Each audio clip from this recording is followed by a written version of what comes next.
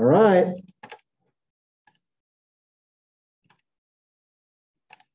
Trevor is talking about trivial meet and join within the lattice of monotone triangles. How exciting. All right, let's hear it. Yeah, so I'll be talking about this paper by uh, our own Adam Hammett and John Engbers titled Trivial Meet and Join within the lattice of monotone triangles. Just hit the right arrow. Yeah. Oh, okay. Thanks. Um, so we're going to define a monotone triangle. Um, if we have n a positive integer, a monotone triangle tau of size n is a triangular arrangement of elements of the first n positive integers, such that if we let tau of i comma j denote the jth entry in row i, those two conditions hold for one is less than or equal to j is less than i. So the first condition tells us um, essentially that when we have, oh here, I have, I have examples that'll help me explain it. Just kind of have a couple examples of monotone triangles there. The first condition tells us that within a row, um, if we have an entry, the entry to the right of it is always greater than it, it's strictly greater. And the second condition will tell us that uh, if we go like diagonally up and to the right, then it's weakly increasing. So that means it's always greater than or equal to, and same with going diagonally down and to the right. So that's what the second condition tells us.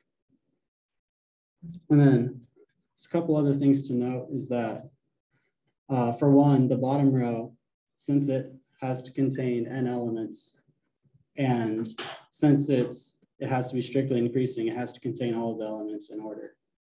So the bottom, the bottom row is always just one, two, three, and so on up to n. Um,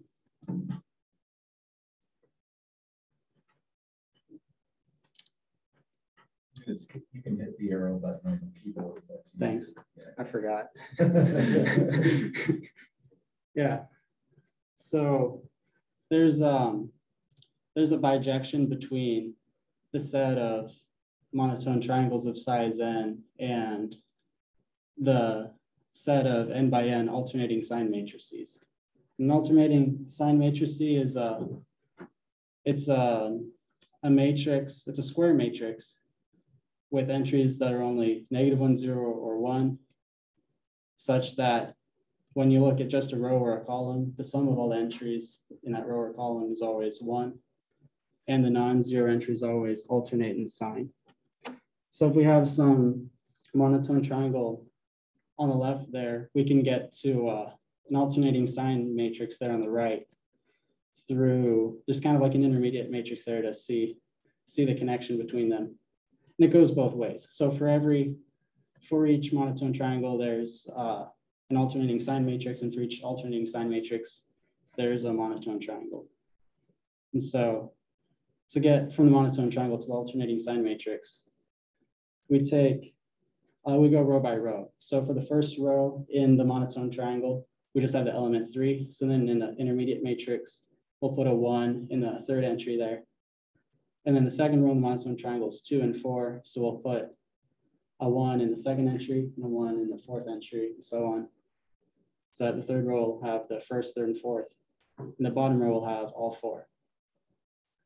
And then to get from that intermediate matrix to the alternating sign matrix, we, um, we go down, uh, we go in the intermediate matrix down like the first column and how do I describe this? I didn't think about this. Uh, Um, just, you go, okay, uh, those ones that are in that intermediate matrix are gotten at by adding all the entries so far as you go down the column. Yeah, so it's like the sum. The So total like sum. the total sum. Yeah. So, So, right, so if you go down the first column, what's the total sum so far? Zero. So what must have been the upper left entry? Zero. zero, Uh, you go down, and then you go to the set down to the second entry. What's the sum so far? Zero, so what must have been that So must second have been zero. Zero, you go down to the third one, so what must have been that third entry? One. And Yeah. then you go back, and then, and then it says one again, over here on the left, So yes, so. For the that's- total sum to be one, it must have just added zero. Yeah, that's right. And The then like, second, the second column's more interesting, you can talk through that one, so. yeah, yeah, thank you. Yeah, Uh, so for the second column, um, and then you, in the intermediate matrix, it starts with a zero. So then the alternating sign matrix will also start with a zero. And it changes to a one and to, so then the total sum is one. To get from zero to one, we have to add one. But then the third, the third row, second column is a zero again. And so to change the total sum from one to zero, we have to subtract one. So then we put a minus one in the alternating sign matrix. And to go back to one again, we add one again. And so that's, that's how they're uh, connected there.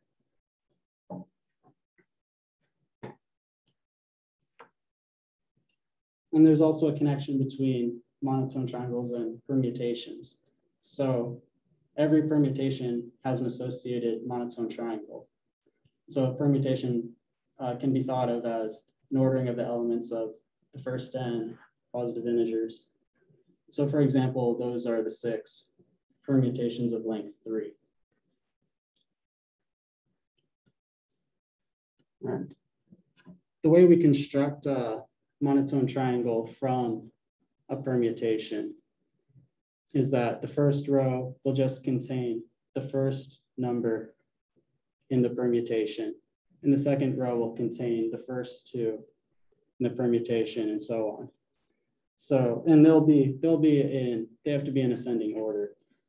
So like, for example, like these are the six um, monotone triangles of size three. Um, with each triangle having the bottom row one, two, three, because um, all of all of them will have the same bottom row by necessity. So for example, with the first one, it's the permutation one, two, three. In the monotone triangle, the first row contains one, the second row contains one and two, the third row will contain one, two, and three. And then for the second one, uh, the permutation starts, well, the permutation is one, three, two. So in the first row, we'll just have one, In the second row we'll have one and three, and so on.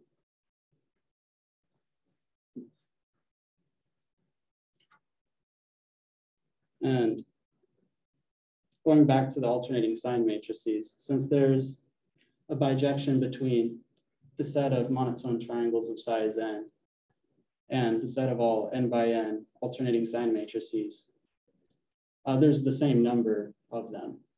So there's the same number of alternating sign matrices of size n as there are uh, monotone triangles of size n. And there's, there's this uh, handy conjecture that gives us what that number is. Um, that Dr. Hammett and uh, John Engbers quoted in their paper. And it's this product.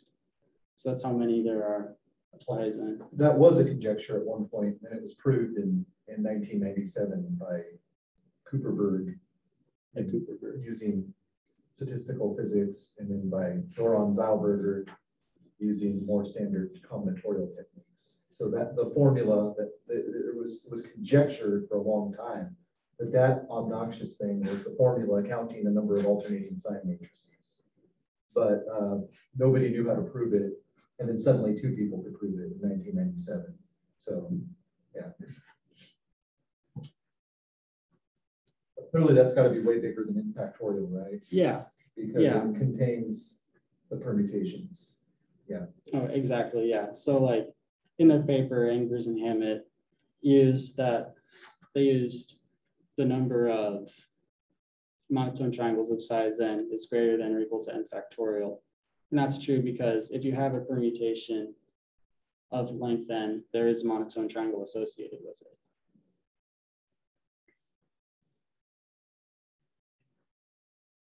And then we can talk about uh, whether a monotone triangle is greater than or less than another monotone triangle.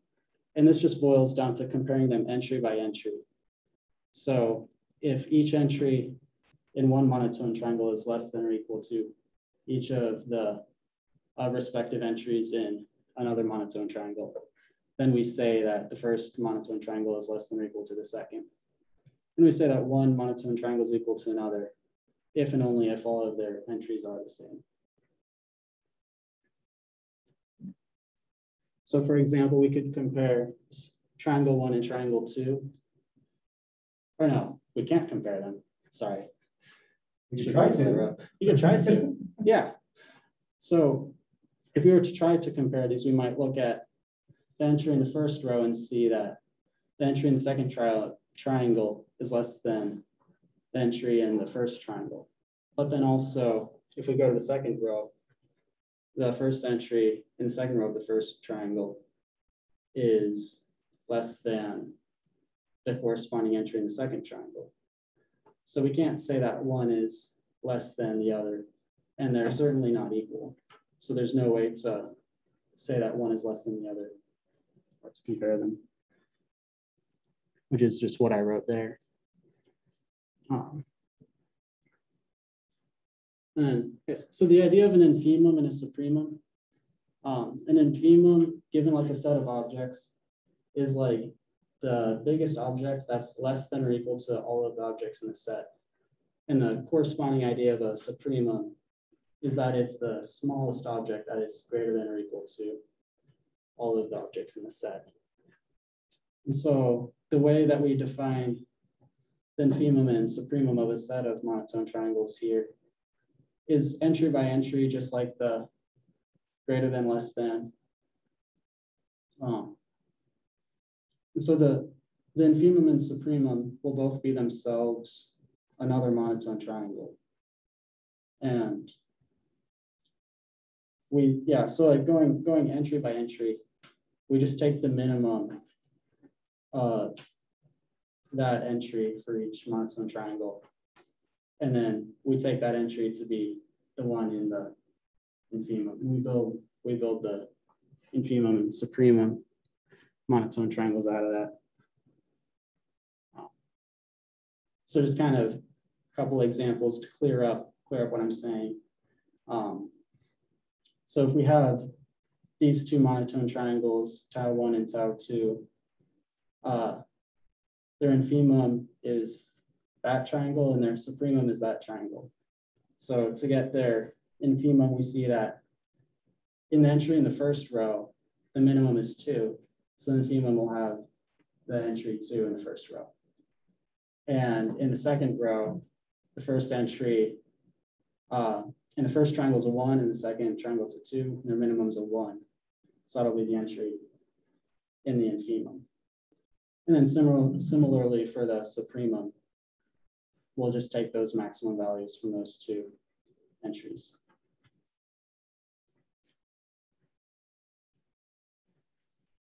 And then, so kind of thinking about the permutations again, um, we can order, so these, these are monotone triangles of size three without the bottom row. The bottom row is truncated. They're all just one, two, three. They're all the same. Um, what we have here is that the, the maximal permutation here is three, two, three, one, two, three.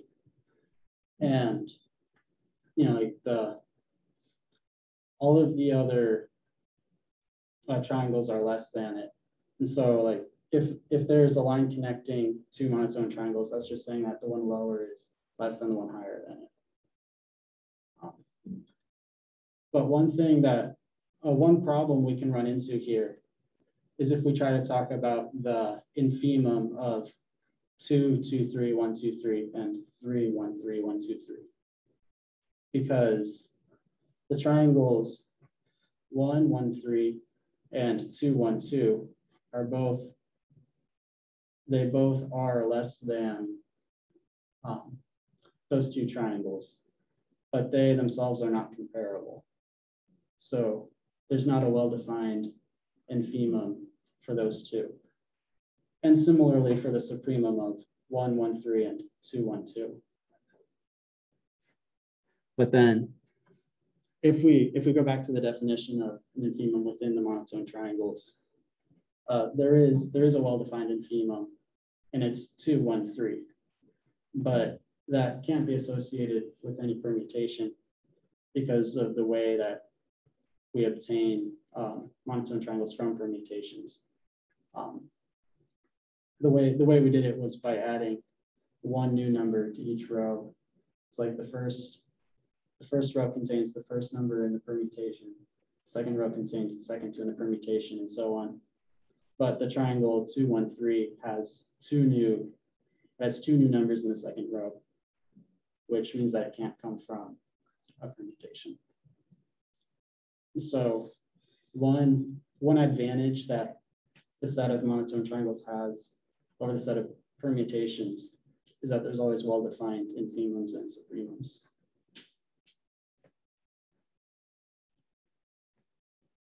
So within the monotone triangles, uh, the minimal monotone tri triangle of size n is given by uh, its entry at the coordinate ij being j. Um, so that just means that first row will be one, second row will be one, two, and so on down to one through n. And of course, those are the, in each entry, those are the smallest numbers that you can have because you'd have to start with a one on the left. And then it always has to be strictly increasing as you move to the right. And the, the maximal element is defined similarly. So you just start on the right of the triangle with an n, since that's the biggest element you can have. And you just subtract one each time as you move left. So the first row will be n, second row will be n minus one, and then n, and so on. So that's, so every monotone triangle is less than or equal to the maximal element and greater than or equal to the minimal element.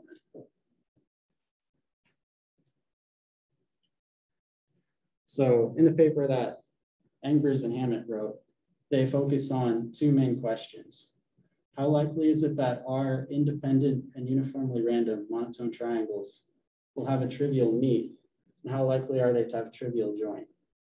And meet is just another word for infimum, and join is just another word for supremum. It's a way to say it and sound like you really are smart. Yeah. British. yeah.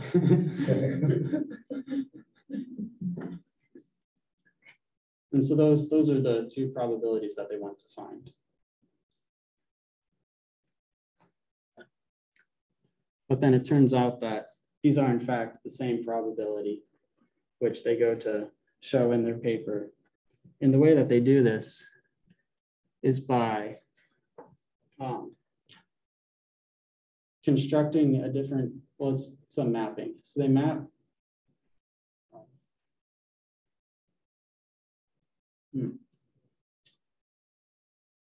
Trying to think how this went.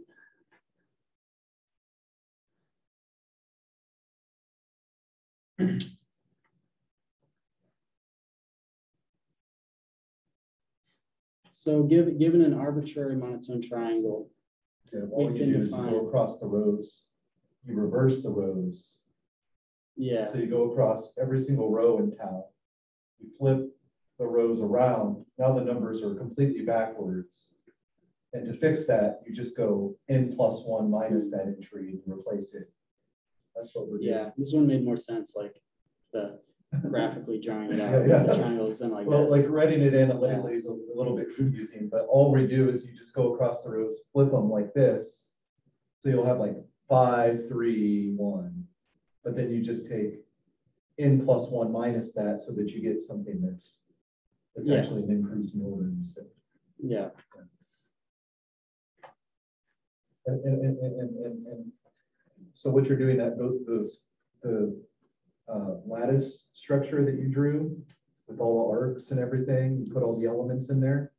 All we're doing is we're, instead of being like in one part of the picture, we're going up to another part of the picture that looks exactly the same, but it's kind of flipped over. That's it.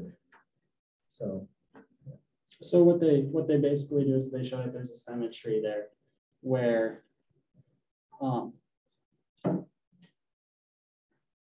where, like you said, thinking about the probability of infimum being the smallest element is the same. It's, there's a symmetry between that and asking whether the supremum is the maximal, uh, is the maximal element.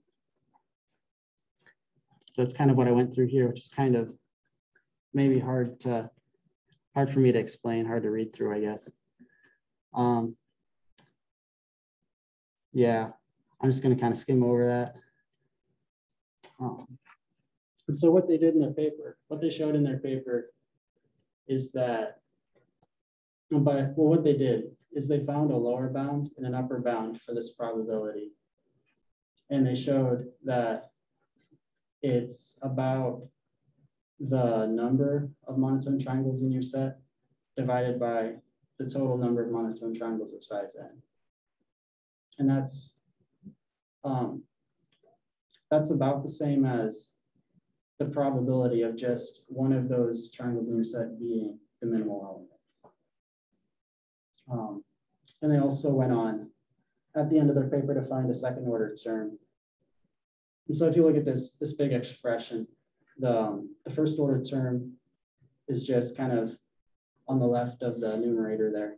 When you divide that by a n to the r, you get the expression up there in their main result. And then the second term is more complicated there, but it has an a, an to the r minus 2 term on it. Um, and when you, it's like, um, and compared, compared to the other term with the an to the r minus 1, um, it's, it's like dividing by a to the n, or sorry, a of n, which is kind of like dividing by n factorial since an is greater than or equal to n factorial. So the second term is like a lot smaller than the first term. And then there's like, um, and then the, the O there and all the other stuff is just saying that everything else is like really small, right? Pretty much. That means that everything else is like theta of that means that everything else is basically a constant times that thing that's in there, some kind of constant, like five or whatever it is. So, yeah. Yep, that's about all I had to share. what, okay, can I ask you a question? Yeah. What does that little twiddle notation mean? What does that mean? Like you say P min twiddle R over A of N, what does that mean? Does that mean that it's um, like a constant multiple or it, it's like, it, it's, it's pretty similar? I don't know what exactly it means. What it means is that it means that the limit as n goes to infinity of p min over this expression uh, equals one. So the ratio of whatever p min happens to be in that fraction is really, really, really that fraction is really close to one if, if n is large. Yeah. So this, this notation right here is basically saying at, this is like as n goes to infinity. Right, so as the number of, or as the size of the monotone triangle gets huge.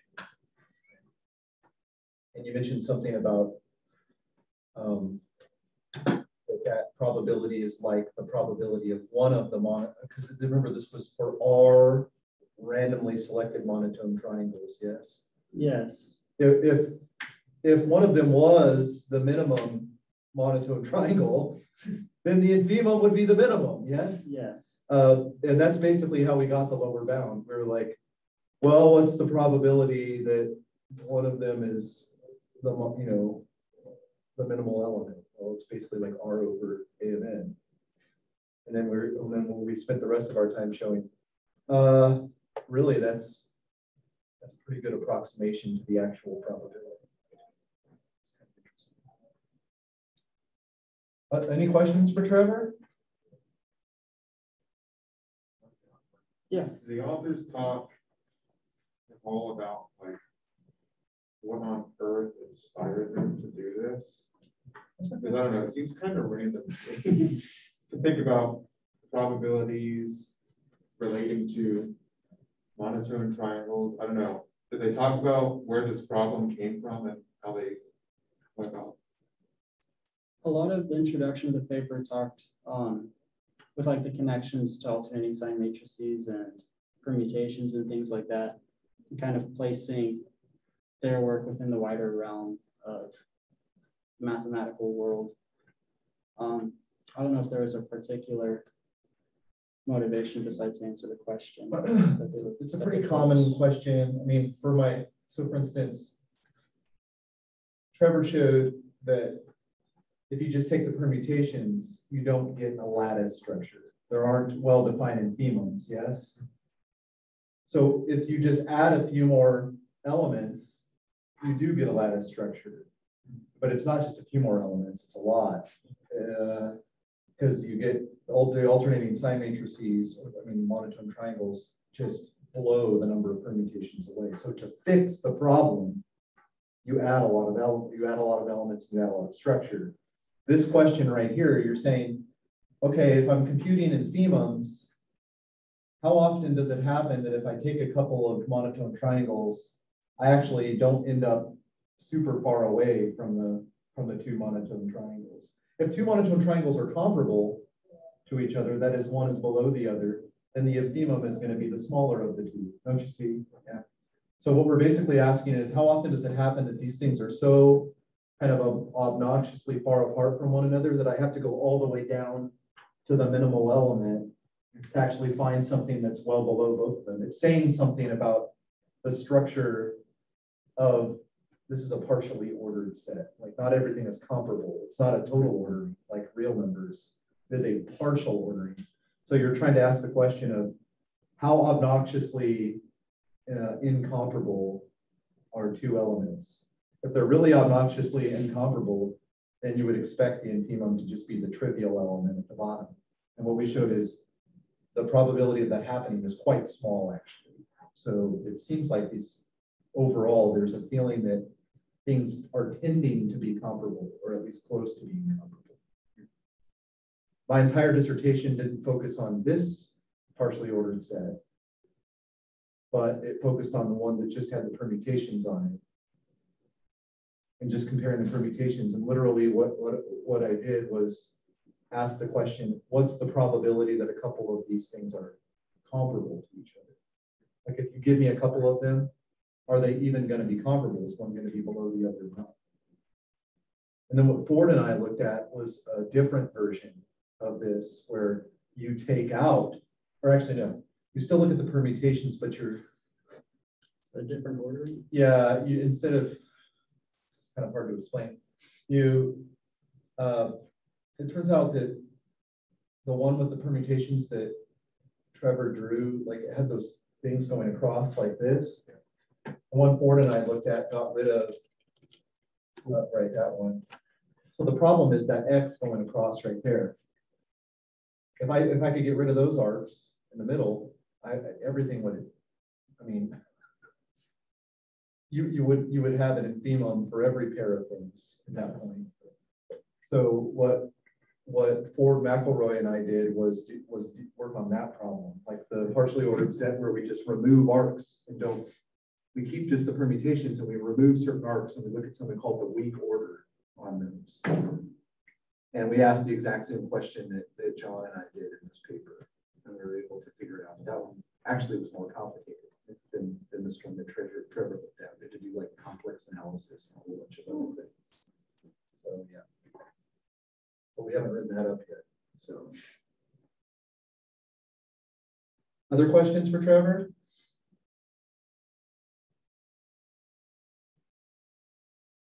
Cool, thank you, sir. Thank you. Yeah. All right, Claire, uh, all you have to do is hit escape and then pull yours up and.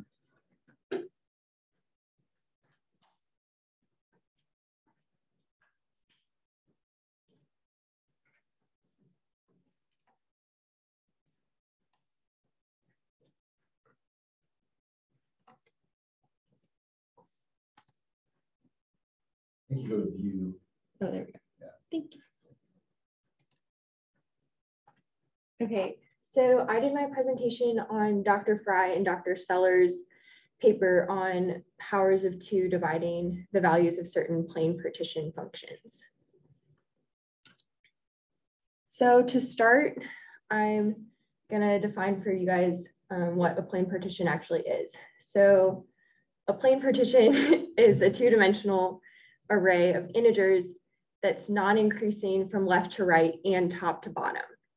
So here's an example for n equal to 24. As you can see, the numbers are non-increasing from top to bottom. And they're generally like visually represented as unit blocks kind of cascading out of the corner of a box, um, which that was a lot more helpful for me in understanding them. Just kind of pushed over in a corner. Yeah. Yeah. So there's several different like families of plane partitions, but the two that we're going to deal with today are the totally symmetric self-complementary plane partitions. And totally symmetric just means that, so of the like six ways you can orient this box, the plane partition will look the same in all of those permutations. And then self-complementary means that the negative space, um, in, you can kind of faintly see it in the box, is the same as the positive space. So the negative space is the plane partition itself. And then for the cyclically symmetric transpose complement plane partitions, it's a mouthful. um, you only have symmetry for like three of those permutations. So basically, I think it's that you can turn that, like you could turn the box like this, but you couldn't like turn it forward or backward. Um, and then transpose complement means that if you took the negative space out of that box, it's the mirror image of the plane partition itself. Can I ask a question real quick? Yeah. I should know this, but. So this- I Forgot. Uh, why? So totally symmetric, you can rotate the box in, so one, two, three Mhm. ways, one of them being this way. And you get the same plane partition. is what you're Yes. What, what are the other three things? I think that Dr. Frey was trying to explain this to me, and it's kind of, it's really hard to picture. Is it the but I- negative space? Yes, so I think Oh, I like if you it. flip Yeah, yeah, the yeah. box like this, I see the negative space, like if you, if you look at, see the L shapes on the top and on the side, there's like an, uh, there's a carved out L shape right there on the upper left, right? Mm-hmm. and yeah, and then this one, so there's actually Right like here. Dr. Frey nor I could find any pictures of cyclically symmetric transpose complement. So this is cyclically symmetric, but this is not transpose complement. Okay, okay. Um, Okay. But yeah, those turnings of the box are kind of hard to wrap your head around. So both these families of plane partition functions, um, or no, both these families of plane partitions have functions that represent the number of totally symmetric self-complementary plane partitions and the cyclically symmetric transpose complement plane partitions that fit within a 2n by 2n by 2n box. So as you might have noticed, that first function looks strangely familiar to what Trevor just presented on. Um, and so in their paper, they proved that the highest power of two that divides T sub n and the highest power of two that divides C sub n is actually the same. So their proof relies heavily on this lemma, which says that for any prime p and positive integer n, the highest order of p that divides n, yeah, that divides n factorial is given by the sum of this like greatest integer or step function, which is what allowed them to write c sub n as the following sum. So if you look at this, it's basically like using those functions with the factorials and then the lemma got that first line for C sub n. And then the rest of the proof is purely like manipulation of the sums. So basically because it's a step function, they're able to combine those last two into that. And then here, they divided three by two, so they got two to the k minus one, which then combined with this actually is telescoping. So they were able to write that here. And then from there, they divided both of these by two and got the two to the k minus one. And then wrote out the first term. And then they, um, so moved that into this, which this just turns out to be zero. And then they unsimplified what they simplified in terms of the step functions. So this becomes both of these. And then the rest of it is just adjusting the bounds. So basically on the previous slide, you can kind of, the way Dr. Frey explained this to me is you can kind of think of these as like getting evens and odds. And so then when you adjust the sums, you can combine them into one. And then those last two terms in the top line, you can combine again. And then you get this, which by the lemma gives you ORD two of T sub n. So from this main result, the authors proved several other theorems, which this is the part of the paper. It's interesting because um, that main proof they do in the first like three pages of the paper. So then the rest of it is proving these implications, which they proved using some previous research that they had done specifically like with the Jacobsthal numbers and alternating sign matrices. So we're going to take a little detour to go through that. So the function T sub n also represents the number of n by n alternating sign matrices, which Trevor was talking about earlier. And so T sub n and A sub n are the same.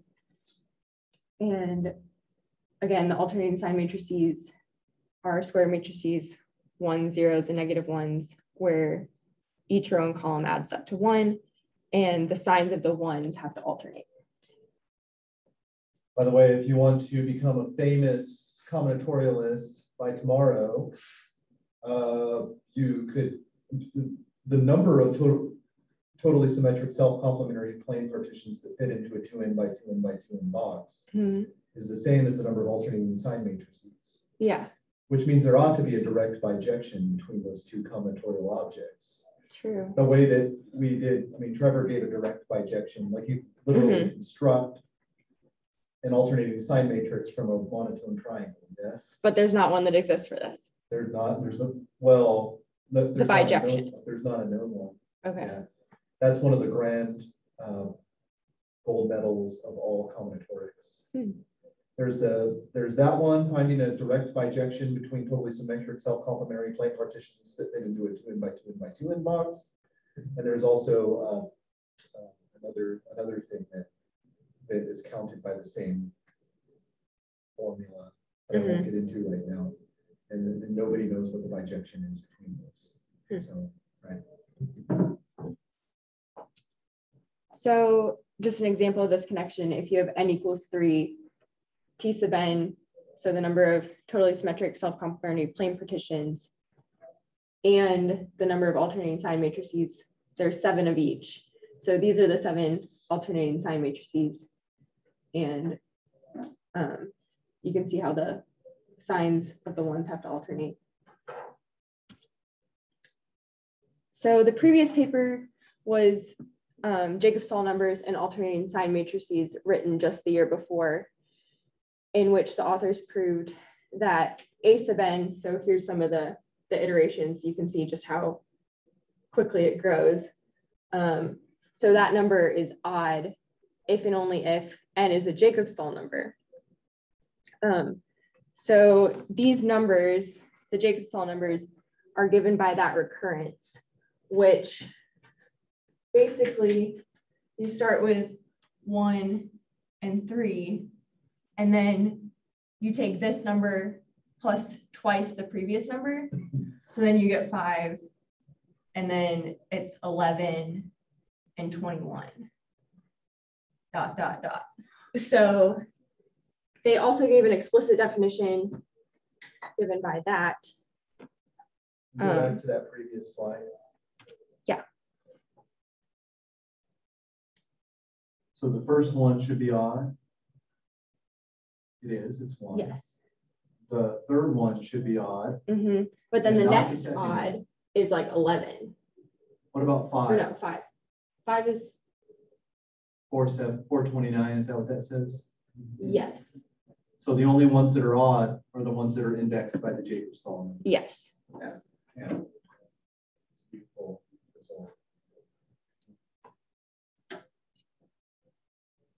So this brings us back to the implications in the paper that I went over.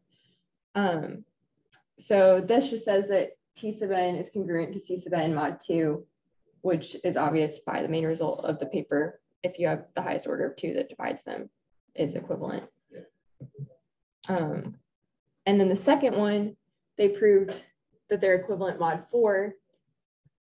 And the key to understanding this is that that result is automatically true for ord two of t sub n greater than or equal to one, because if ord two of t sub n is two, then both numbers would be a multiple of four, so they'd both be zero mod four. Um, so then the only ends that we have to check are those for when, well, similarly, if ord two of t sub n is one, then they're both two mod four.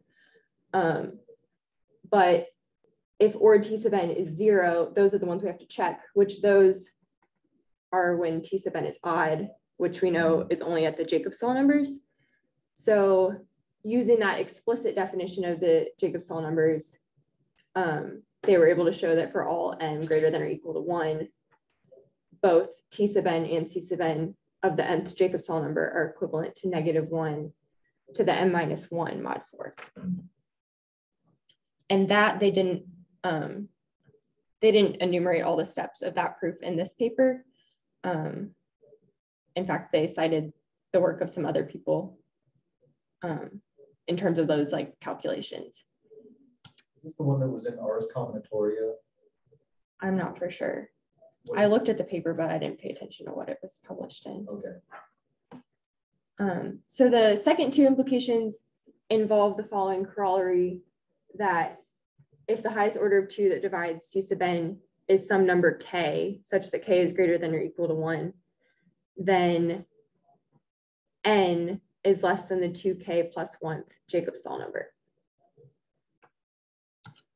So using that, they were able to prove that t, t of n is congruent to c of n um, mod 16 for all n greater than or equal to one, so long as n is not a Jacobsthal number.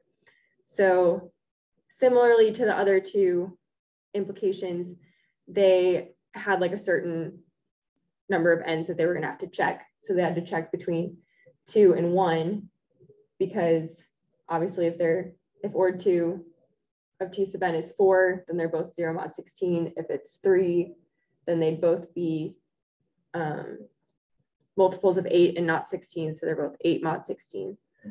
Um, but then using the aforementioned corollary to check those, they were able to say that, okay, we have to check the ends between one and the fifth Jacobsthal number subtracted by one. And then, so that comes out to one and 20, because the fifth Jacobsthal number is 21. So then they just took all those ends and plugged them into um, T sub n and C sub n and found that they were in fact all congruent mod 16. And then the last one is kind of like a generalization of the previous implications. So it says that for all positive integers k and all but finitely many n greater than or equal to one, and not a Jacobsthal number, uh, T sub n, or not T sub n, T of n and C of n are um, congruent to each other mod two to the k. So obviously this one is a little bit more limited because they restricted it to they said all but finitely many n. Um, so they knew that you'd have to check the um, ord two of t sub n between one and k minus two. Um, but because of the corollary, which we used for the previous implication, that implies that the only non-Jacobsthal positive integers n for which ord two of t of n is less than k minus two satisfies that. So this was the hardest for me to understand because it's, Well, the problem with general K is you can't, you can't check everything, yeah, that's right. I mean, they could do it for K equal to, Mhm, some number, yeah. yeah. Uh, which is what was on the previous slide. Mhm. K was four, is that right? Yeah, so we had K was four, Uh, and then the previous one was Yeah. K is two. So you could just, you know, you could bang it on the head with maple or something. But Here, you would have to come up with some other argument for why those finitely many n still satisfy. uh, the congruence. So that is all I have for you guys today. But I used both of these papers and like I was talking with Dr. Hammett about before class, there's actually a third paper they wrote where they deal with, okay, do these implications, this result deal with primes other than two? So The answer is yes. Spoiler alert. So hang on, can you go back? So. Yeah. Oh, so these were in the Journal of Integer Sequences. Okay. Yes. I think the third one is, was published in Ars Combinatoria or something, but. uh, And actually, these papers are the reason that I came to Cedarville in the first place.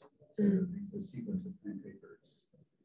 Um, I mean, I didn't read them until like two thousand fourteen or thirteen or something.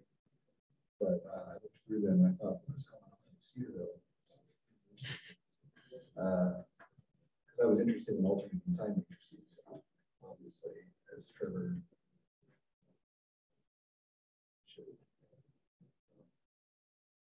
And ironically, Dr. Frey and I have never written a paper on combinatorics together, but we have written one on visibility tests. Uh, But maybe that will happen someday. So questions for Claire?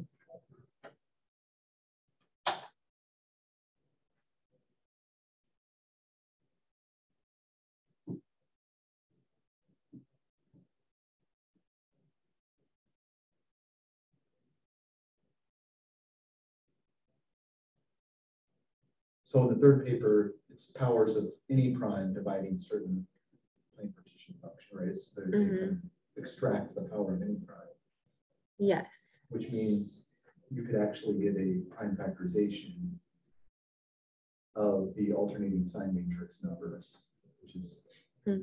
quite, quite interesting. If you know the number. Yeah, I didn't think about that. the number of threes, number of fives, et cetera, then you can say, oh, I know how to factorize this thing. Hmm. So.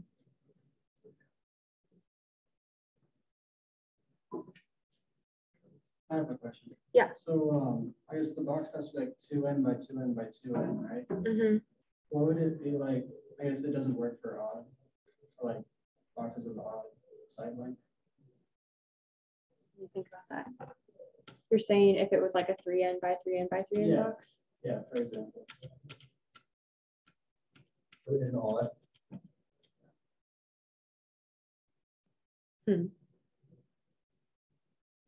Are you saying you don't think the functions would work?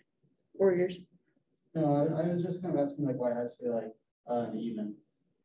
I'm not sure. Okay. I can't think of a reason it would have to be. Because, I mean, with the one where like the negative and positive space are symmetric, I think like that one has to be for it, uh, for the negative and positive space to work out. I don't know about the other.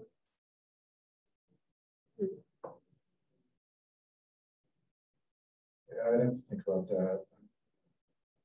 The issue is uh, Sellers, he's, he's up at the University of Minnesota now. He was at Penn State University for a long time, but he was at Cedarville when this paper was written. Um, He, he is an expert in plane partitions, so.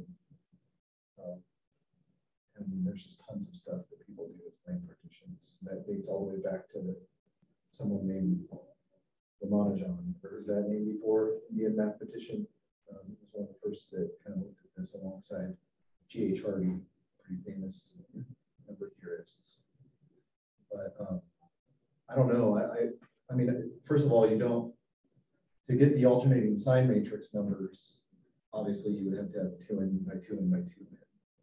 Because you just get them in sequence if you do it that way, but I don't know why you couldn't thi- think of the concept of a totally symmetric self-complementary plane partition In a in bigger like a- box. In like a- another weird box, you could still talk about that. Yeah. And certainly, it would grow, like if you did three n by three n by three, n, it would be bigger than the number that fit inside a two n by two n by two n box, right? Because all the two n by two n by two n would fit inside of a three by three by three. Yes. right? Or do, do you have to have the negative space thing working out? I think you do for these families, because otherwise it wouldn't be. Well, I guess it would still be self-complementary. If the box was bigger. Yeah. So, yeah, I mean, there's a lot of stuff to learn with these things, but again, if you go over to Chuck's tonight and figure out a bijection between TSSCPPs and, uh, and alternating sign matrices, um, you'd be pretty famous by, uh, by the weekend. Yeah. Abigail.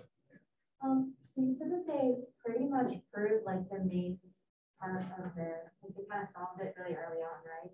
Yeah, So was that, like, did they know they were gonna do that and wanted to focus more on the implications? Or did it just, like, how did that work out? um, I asked him about this because he walked me through this.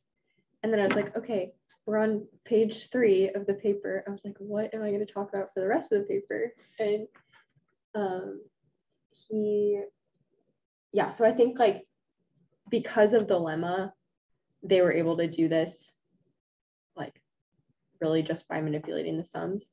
And so having written the previous paper, I think they that is kind of what sparked them to do a lot of the implications because they now had this. So then they just kind of combined that with the parts of their previous paper that were relevant in order to come up with some implications. Yeah, because I knew precisely which of those numbers were odd.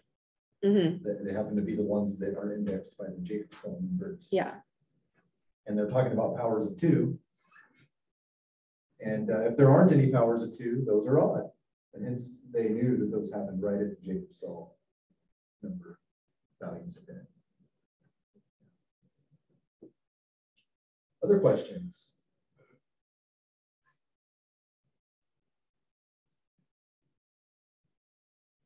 But yes, to answer your question, I think this paper was partly motivated by wanting to build off of their previous results. What else?